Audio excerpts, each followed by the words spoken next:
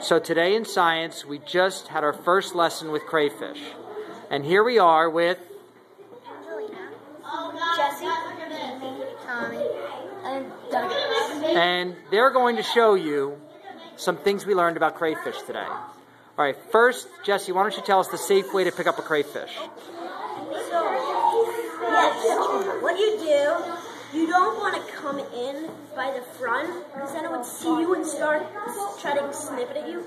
You want to like come in through the back. It's like you would catch it by surprise. It's like you would grab it right where that meets and that meets. What's that called? Carapace. Okay, go ahead. Carapace. And you grab it right here. Uh huh. Go ahead, pick it up. You can go a little faster. And flip it over. Flip it. Bring it up to you. Bring it up to you. Okay. Wait, mommy. Give it the Hold it. All right. Right, now turn it all the way upside down so I can see it. All the way upside All the way upside down. Okay, now Lena. Oh my god, it's Okay. Ow, ow, ow, ow. Is it getting you? All let it go. Oh, grab. That's what. Okay. Don't let it let the tip. Now, Lena, do you want to give it a try? No. I'm, Okay, I'm, you just wanna- I'm gonna rub its back. I can do that. What? I can, I can actually like stroke it, but I'm not gonna pick it up. No. I don't want to touch it. Because Okay. rubbing its back. Who? All right, go ahead, Douglas. Yeah.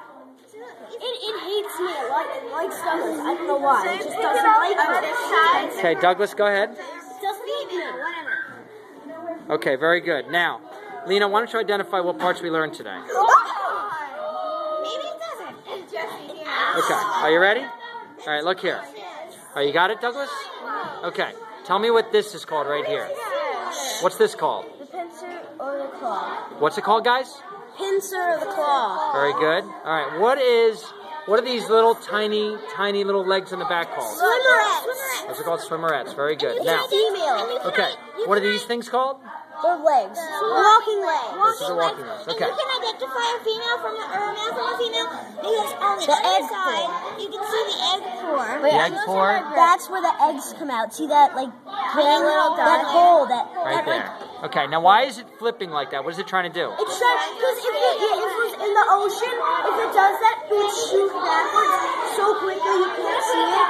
So it's trying. It's trying to do that. So like in self defense, it wants to like. Very good. Now, I have a last question for you guys. Hey. What is the outer shell called?